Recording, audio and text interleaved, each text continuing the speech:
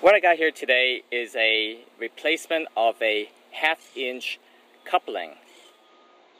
Um, that was actually installed initially on my solar water heater panel here as you can see and as you look at closely you can tell that there is actually some leakage because it just wore, wore itself out through the uh, through the years so with that I need to uh, replace it. I'll be able to just cut making sure I have a one inch clear on each end and to be able to use my coupling in place of it.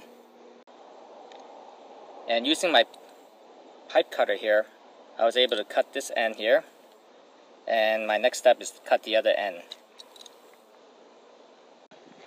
Okay so as you can see I was able to cut the rest of the piece off so now I have two clean pieces okay so after a little quick polish on both ends just to make sure that uh, they will go through hopefully slip on a lot cleaner and easier.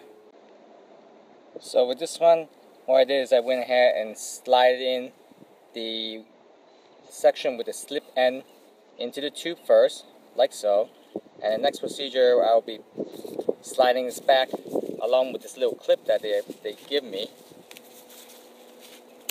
And uh, that should fit right over the area and locks in place.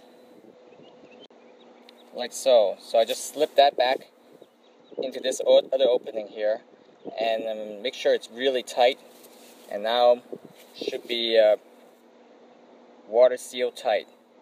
So the next thing is to test it out. Well there is no water coming out. The water is turned on. So it looks like uh, we have resolved it. So all we have to do now is just to close these guys up. Probably buy new pads seal it up so you, stay away from the elements a little bit. But uh, that's pretty much it. Alright thanks for watching. Take care. Bye bye